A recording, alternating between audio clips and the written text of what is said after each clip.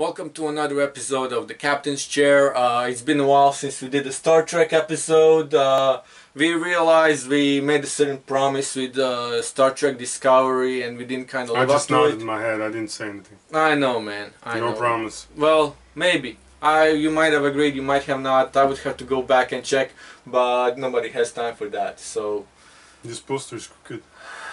and now you realize. Mhm. Well, anyways, um, we we've seen season two of Star Trek Discovery, and I I did enjoy it. I was kind of surprised at certain things uh, with uh, you know bringing in Enterprise and uh, bringing in Spock and uh, certain time travel things. But overall, I enjoyed the second season of Discovery. I have one gripe with the second season. Okay, shoot, yeah, go for it. Jason Isaacs, or lack thereof. Okay, yeah, I, I agree. if Yep. you watch season one, you know exactly what transpired.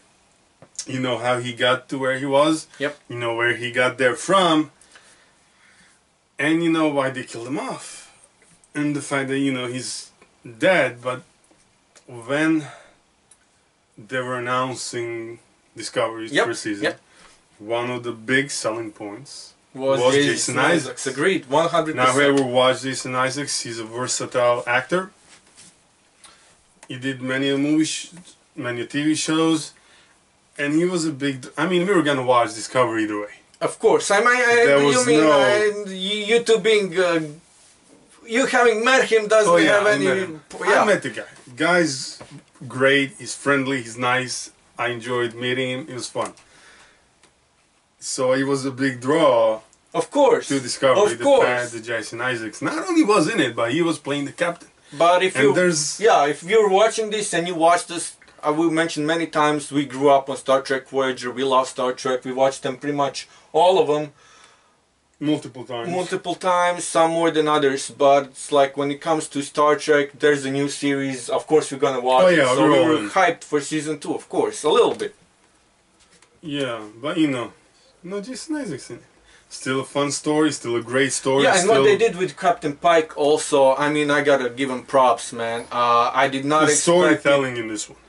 off the charts. of the charts, and it's the fact that have they have uh, highest budget for any Star Trek Yeah, really helps because and I think they're at the point if you can imagine it, we can make, it happen Yeah, exactly. because we have the funds to make it happen.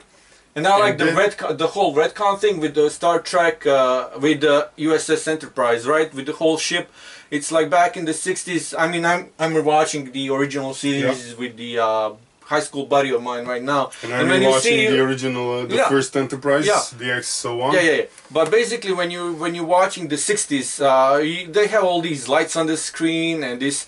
I mean. You have to read data from all those lights. You can't really. So I like the fact that they took Enterprise and they put com- actual computers in it, which makes sense, technology because wise. technology and, and I like certain things that they retconned.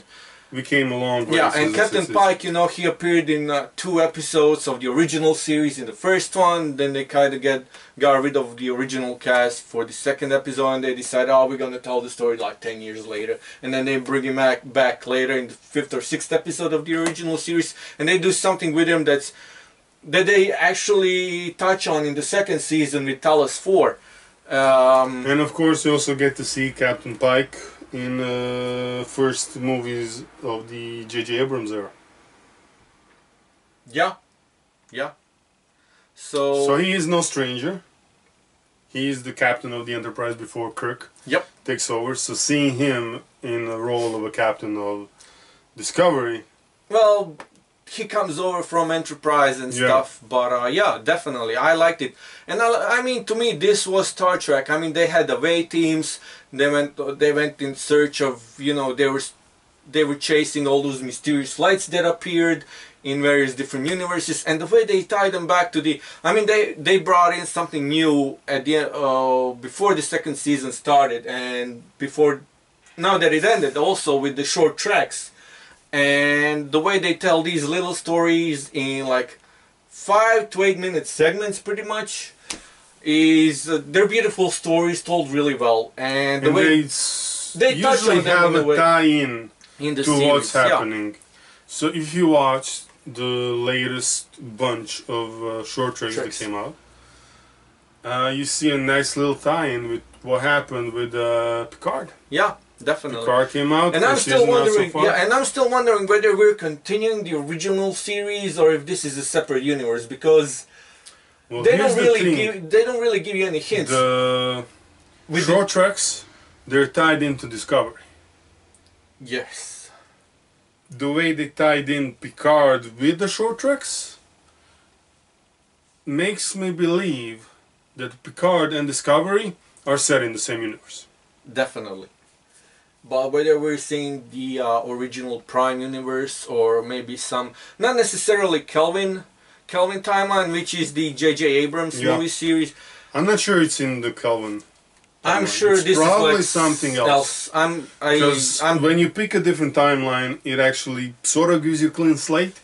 As in, events might have happened in the Prime universe, in the Kelvin universe, but necessarily in this universe they didn't. Exactly, like the destruction of uh, Romulus in uh, Supernova that doesn't actually happen in the Prime universe. But does happen in the Kelvin universe. Yeah, and because it also happens in the Star Trek Picard, the new series that just started. That I we've talked about it before in one of the episodes, and we were really really looking forward to this.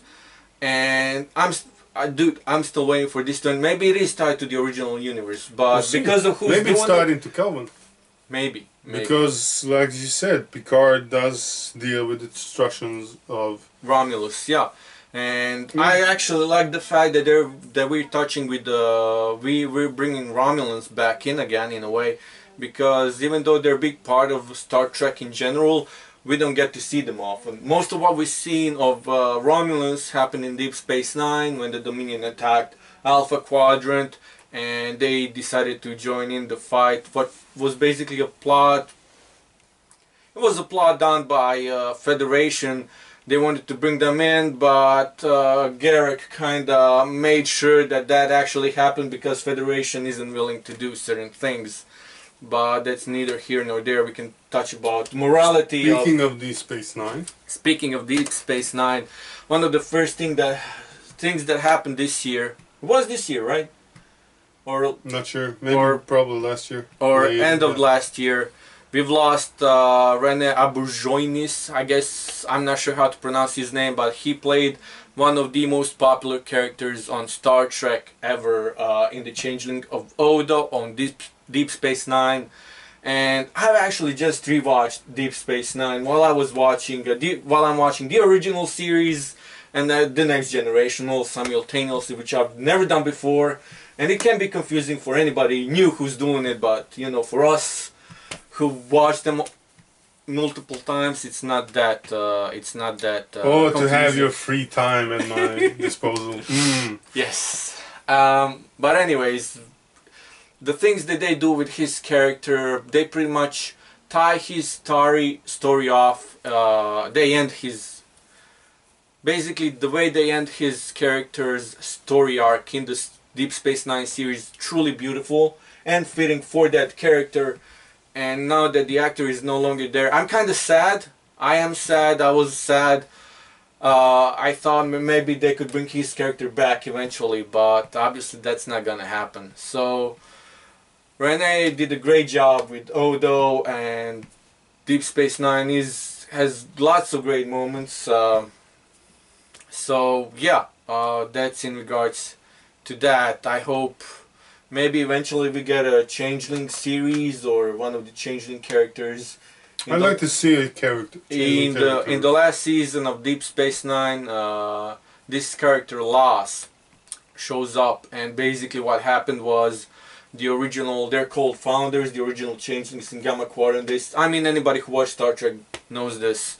They sent out a hundred uh, offspring, so to speak, all across the galaxy, and this is this guy is one of the hundred, and he has a short, short uh, visit with Odo lasting few days because he's very conservative he doesn't trust solids and he goes on his way and maybe later on i don't know maybe we could see like a short mini series based on his because he wanted to go off because his Dominion was still in the war with Federation in the Alpha Quadrant and the Klingons and Romulans, and he asked Odo to maybe go off on their own and start their own Great Link. Uh, so maybe I would love to see maybe some of his travels, maybe influence. Well, here's the thing. Now the CBS is going all in, basically, on Star Trek. You know, starting with Discovery, now we got Picard.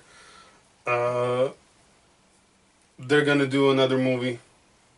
Uh, also, yeah. in uh, the Kelvin universe, not tying into, and plus the uh, Quentin Tarantino. That is Tarantino's movie, I think. They're only doing Tarantino's movie because I think uh, they're doing Chris Tucker. Chris Tucker.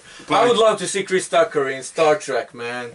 But uh, Chris uh, Chris Hemsworth and uh, Chris Pine uh, didn't get to negotiate a good deal for themselves, so their yeah, movie is off. think, yeah. Uh, Their- or their movie may become Quentin Tarantino's movie. Whatever I'm it is he wrote, but there whatever some- it is he wrote, they're definitely doing it right now. there were so- some speculations that we might get Chris's back to do another. It would be great, man. I'd So I think it. that's still gonna happen. Plus, we're gonna get Tarantino movie. Plus, with what they're doing with Discovery, we're gonna get a third season soon. despite what everybody, I mean, there's a lot of trekkers out there who don't like Discovery. There's comments floating around. This isn't Star Trek. This isn't my Star Trek. But I would have to disagree because I think Star Trek Discovery is doing something different. And uh, also, I mean, I like the way that they're doing certain things, and I Mhm. would like to maybe. I get what why people think it's not really Star Trek. Maybe they could put a pedal on certain things, but I think it's great. I mean, I'm enjoying it. Uh, the only issue I may have is with the um, trouble with Edward uh, Short Trek, where we actually discovered that basically Federation was guilty for the whole tribble epidemic uh, that later caught up with Captain Kirk. So maybe, and maybe even maybe it's their fault that they that tribbles invaded uh, Klingon Empire on a certain planet, and the Klingon warriors said to go up and uh, basically wipe out tribbles away from the map, so to speak. Uh, in Deep Space Nine, I think it was Quark or somebody is messing with Worf, and when he's talking about tribbles like as pests and whatever, and somebody asked him, I was like, uh, "Did you write? A, is there a Klingon opera? You know?" Basically, uh, not even. Uh, you know, worshipping uh, the brave Klingon warriors who destroyed all the tribbles. So there's, uh, I like, I like that it's all connected. I like the way it is connected, that they're connecting it. So there's, uh, it's a great time to be a Star Trek fan. Definitely. And I was talking to somebody also is like uh, I was talking about somebody I met recently and it's like I was like, Oh, I'm watching this Star Trek and stuff. It's like, Oh I've never watched Star Trek. It's like it's never too late to start. It's like but I don't know anything about it. The great thing I said about Star Trek is that you don't have to know anything about it. No, just And- pick up, start watching, and I, learn along the way. and I would, I mean, start with the next generation. If you're watching this for the first time, you're wondering about Star Trek, and we spoil some stuff for you, maybe. But uh, if you're wondering where to start, I'd say the next generation is the best place to start, because the original series, even though it, it is a great place to start, it got old. Uh, some of it didn't age up very well. Some of it still good.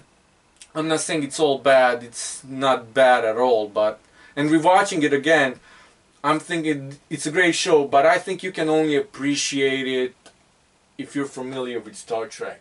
I don't think you will, or science fiction in general. But I Otherwise, it might put you off. Definitely, I think it might put people off. So start with the next generation, and go with deep, you know, the movies, Deep Space Nine, Voyager, Enterprise, and then move to the original series and its mov- the six movies. I actually enjoy all those six movies, man. And then pick up with the new stuff that came out. Pick Yeah. up with Discovery, the Picard, and whatever else is in store for the Star Trek universe. If you got time, you know, uh, you got Netflix, and you gotta have Amazon Prime for uh, Picard, but you know, you can cross that bridge when you get to it. I don't think you have to start because if you start with Star Trek Picard, a lot of things won't make sense to Yeah, definitely get uh, I, it's introduced to the lore first. yeah, some of it at least, because otherwise some things just. I mean, we just watched first episode, so.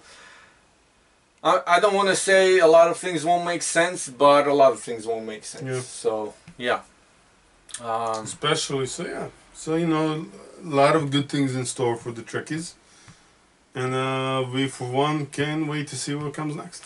Yeah, and hopefully, and I saw there's a video floating around with the the cast of Star Trek Picard talking about which characters they'd like to see on the series. And I know we didn't record this, but before the show was uh, released, I said if there is no Q in this series, that that that's just not right. And apparently, uh, I was gonna say Jean-Luc Picard, but yeah, Jean-Luc Picard. Patrick Stewart said he wants to see John de Lancie, aka Q, in the series in second season. So obviously he's not there in the first season, which I think is just is just not right. It's not right, and that needs to be rectified. So Well, probably will. Maybe they couldn't get time. although he said he also right. he said he also wants to see Guinan, which uh, Whoopi Goldberg, which Well, would also Whoopi be Goldberg really cool. is gonna. He did. Uh, he appeared on the View, where uh, Whoopi is one of the hostesses for, and he did extend the formal invitation to join the cast for season two. She accepted, so Whoopi will be back for season two of the Picard. which would also be great if she and Q got to meet again because first time uh, they met was uh, it was kind of epic. I mean, she, she has no she off. has no love for that guy. So because uh, yeah, the screenwriters for everything that's Star Trek now, they're doing a heck of a job. So these Definitely. shows, they're definitely worth watching, definitely worth digging into. yeah, keep writing great stories, and you know, for everybody else who doesn't like the new stuff, there's always uh, the Orville, which is Star Trek ripoff pretty much, and they're doing different things. And I would also dare say great things. I love some of the stories that they're telling because some of those stories would never be in Star Trek because they just don't fit in that universe. So if you're looking for something different, something else, you know, you don't like Discovery, you don't like the new stuff, the, Orville is a show for you. If you haven't started watching, go check it out. You will love it. And I may, I mean, I mean, I know this is a Star Trek podcast. I may be, you know, riffing on it, but still, you know, maybe even it's sacrilegious to mention it, but you know, there, I said it. It's the captain's chairs, and uh, you know, we're the captains, so of this uh, particular starship called whatever. This is the part where he goes on for a while. Yeah. You know, feel free to tune out. Um, Yeah. Any more yeah. thoughts? No, no. I think you went uh, above and beyond. above and beyond. I think is the word we are looking for. you mean a third venture where no other man has gone before? Yeah. let's let's not let's not. That's it from us. Until next time. Bash Bros out or do we, you, we used to do something Star Trekky, but I, I can't remember, and I want to watch Enterprise. you want to watch whatever you're watching. Uh, I'm done with Deep Space Nine. Uh, I may st- I, I don't know, man. Uh, you got any Suggestions? We're gonna do it. Go, go. Bye. Over and out.